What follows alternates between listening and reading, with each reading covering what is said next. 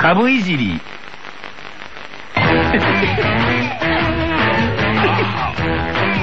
えー、月曜から木曜のこの時間は、モテるとか儲かるとかテーマに日替わりでお送りするミニコーナーですね。えー、今日水曜日は美人トレーダーと株いじりをして儲けようというコーナー。えー、まあね、要はあのー、楽して儲けたいもんですからね。株で儲かってる人の話聞くのはいいと思いますよ。えー、美人トレーダー、初回の今夜はスタジオに来てくれている若林。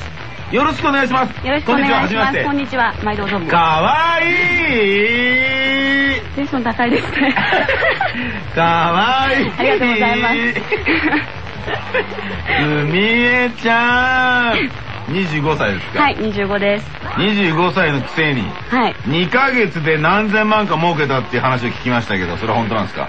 いや、あの、テレビ局で編集されただけなんですよ。うん、実は全然違くて、うん編集って怖いですよね テレビの。あそう実際はどのぐらい儲けたんですか、はい、実際はそうですねあのこうなんでしょう。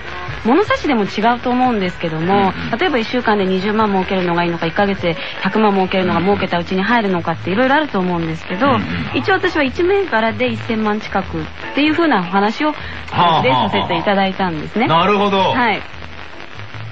な何系の株だったんですか？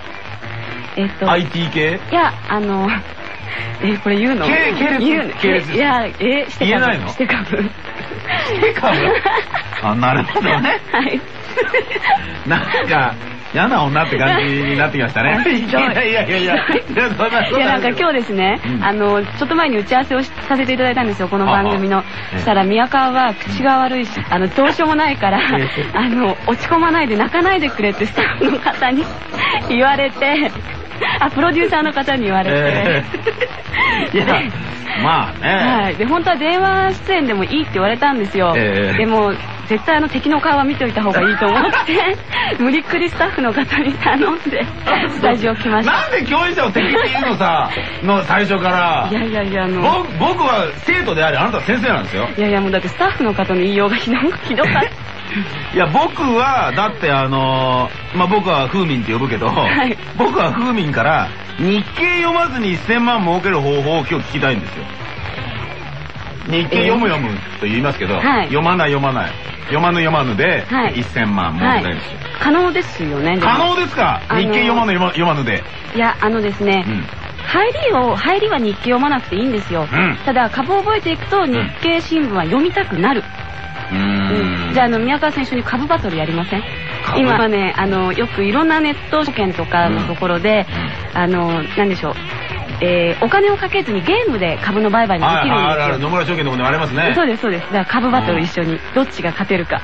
あれで一等とかになると、車もらえたりとかする会社とかもあるんですよ。現金もらえたりとか。本当に。いや、それ別にやってもいいけど、買っときゃよかったみたいな話になるじゃないですか、あれって。あれって実際の値動きに合わせて、シミュレートして、でも金は動かないっていうゲームでしょ？はい、そうです。買った時ほど損した気がするじゃないですか、あれって。じゃあ、じゃあ現金積んでやっていただければ。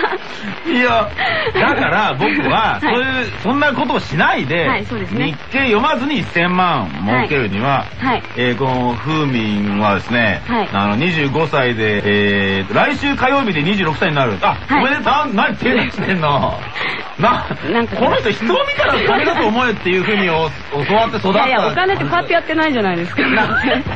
手を出しても同じだ。そうですか。そうだよ。血液型 AB 型、あ A 型、横浜市出身、身長161センチ。はい、これ3サイズ教えてもらえるもんなんですかね？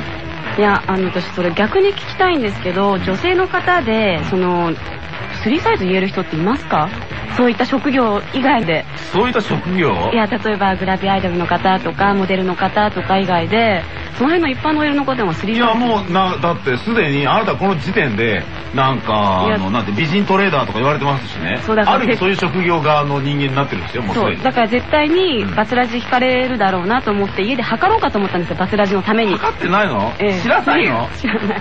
まあでもあの宮川さん好みの巨乳じゃないことは確かです。はい。巨乳好みとか言えないいやもうオープニングでたって言われてたんで。す あそうでしたっけ、えー、株いじりを始めたきっかけは何なんですか？えーとですねこれ暗い話なんですけどいいですか、うんうん、あのちょうど自分が、えーと、予備校生の時に家の会社が倒産したんですね、うんうん、で、えーと、兄が私立大学行ってて妹は私立の高校に行ってたんですよ、で一番中途半端じゃないですか、うん、私って。なのでもういいやと思って、まあ、いろんな理由があったんですけども、うん、あの働きに出ようと思って求人誌を開いたんですね、であれなんていうんですか関東？え？関東？え？違いますね。あの一番最初のページの特集みたいなやつ、はいはいはい、関東特集？関東特集みたいなので、はいうん、あの呼吸取りみたいなので事務募集をしてたところに、たまたまその証券って書いてあったんですね。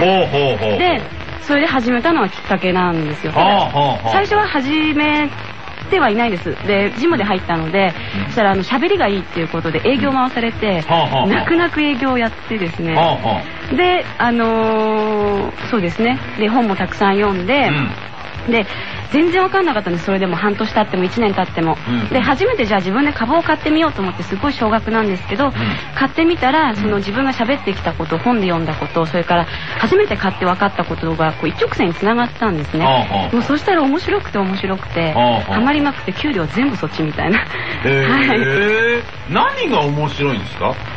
えっ、ー、とですね、あのー、何買ってもイチャモンつける人がいるじゃないですか。あ、今そういう人は。テレビとか